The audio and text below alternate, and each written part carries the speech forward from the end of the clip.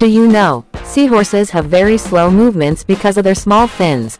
However, this slow movement allows them to escape predators and find food easily. So,